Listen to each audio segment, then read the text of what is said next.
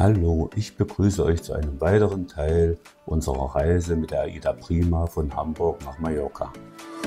Wir liegen im Hafen von Gijón in Muiche de la Ossa.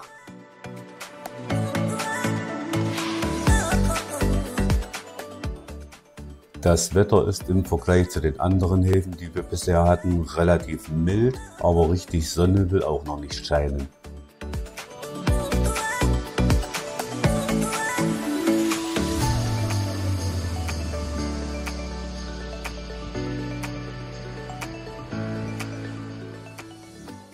Wir hatten uns ein Shuttle über AIDA gebucht, weil bis ins Zentrum sind es knapp 5 Kilometer.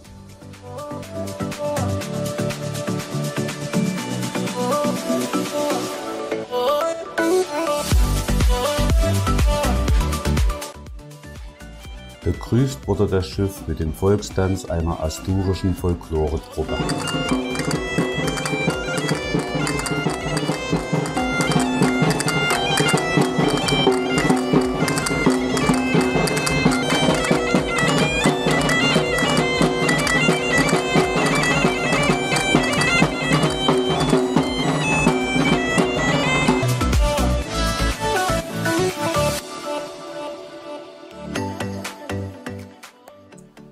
Paar Schritte weiter standen dann schon die Shuttlebusse bereit.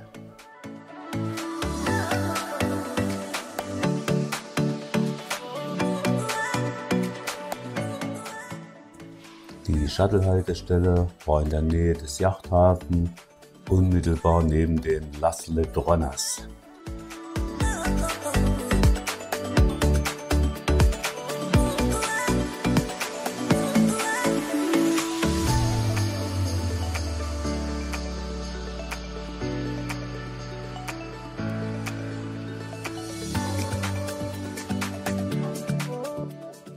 Von Las Letronas aus kann man schon den Arbol de la Sidra sehen.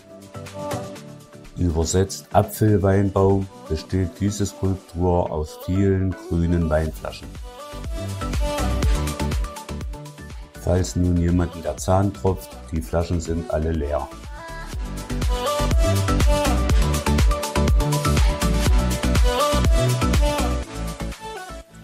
Gleich über die Straße befindet sich ein Brunnen mit der Statue von Don Palaio. Er war der Gründer des Königreich Astorien.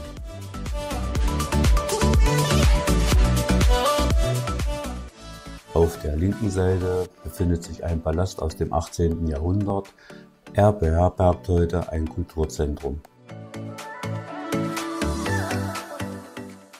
Durch diesen Durchgang kommt man zum Plaza Mayor, und schaut geradewegs auf das Gebäude des Stadtrats von Giron. Lässt man das Stadtratsgebäude rechts liegen, läuft man direkt zum Stadtstrand.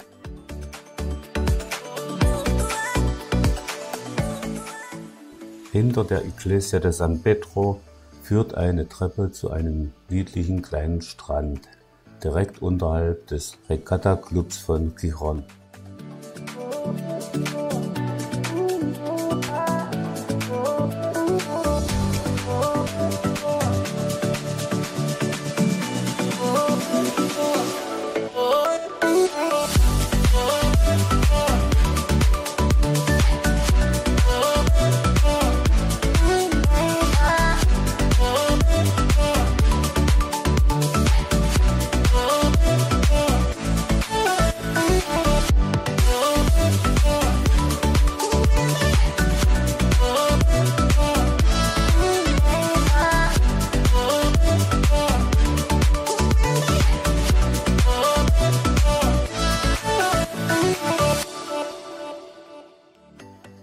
Wir verlassen den Stadtstrand, gehen durch die Altstadt zum höchsten Punkt der Halbinsel Santa Catalina.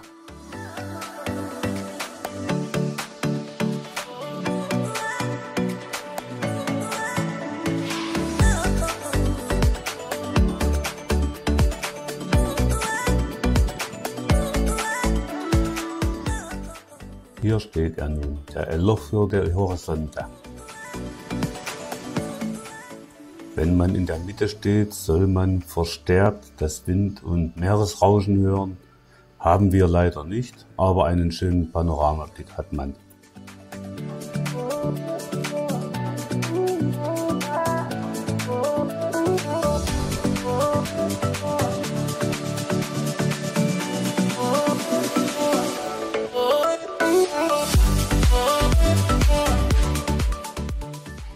Wir beschließen wieder Richtung Stadtstrand zu gehen und uns anschließend die City anzusehen.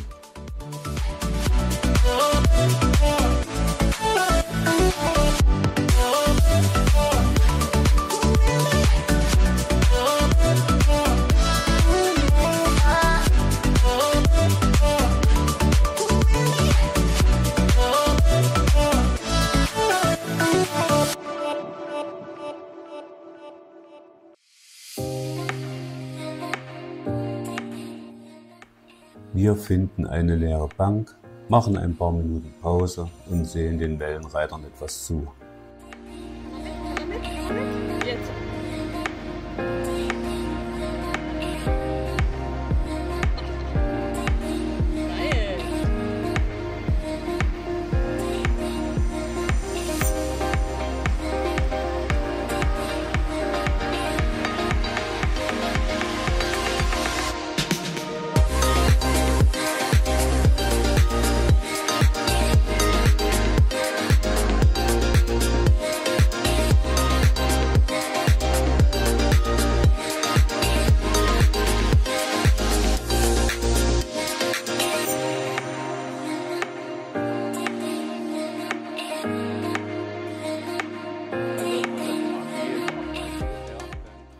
Unterwegs werfen wir auch einmal einen Blick in eines der vielen kleinen Geschäfte.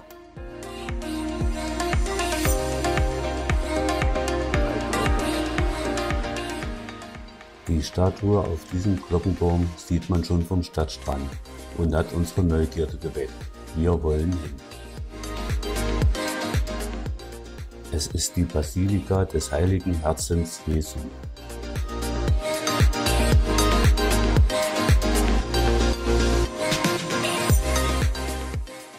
Wurde 1918 erbaut und diente während des Spanischen Bürgerkriegs als Gefängnis.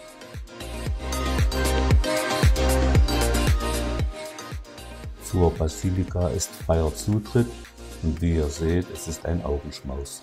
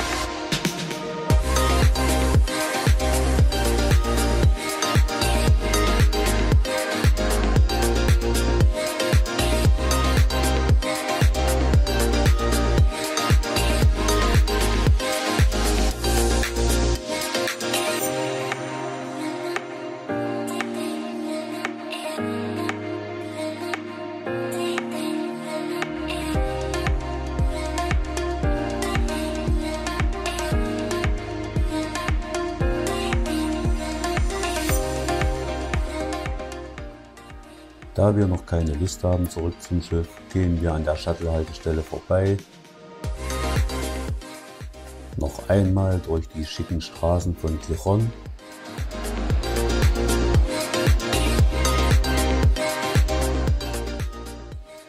Und entdecken schließlich noch eine weitere Kirche.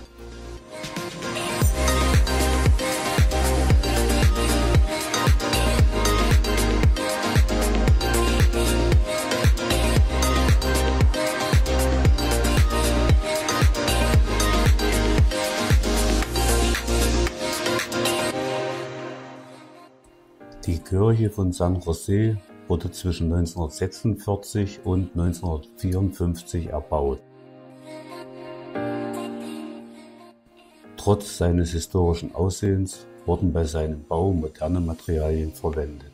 Stahlbeton und bleibeschichtete Keramik im Mittelgewölbe, Kunststein in den Verkleidungen.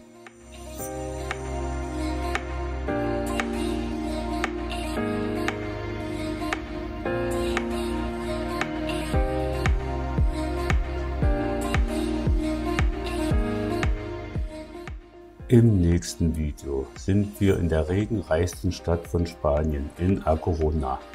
Wir haben es natürlich volle Kanne ausgenutzt, im wahrsten Sinne des Wortes. Wenn ihr das nicht verpassen wollt, abonniert bitte den Kanal. Über einen Daumen hoch würde ich mich auch wieder freuen. Bis bald, eure Urlaubskatze.